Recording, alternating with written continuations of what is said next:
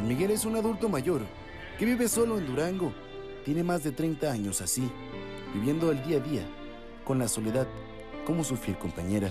Como me verán, ya tengo eh, 93 años de edad y pues tengo mm, casi, casi 30 años de estar solo, completamente, completamente solo, no tengo a nadie. Después de tantos años en soledad, don Miguel quiere estar acompañado porque se siente triste y por eso pide de su apoyo.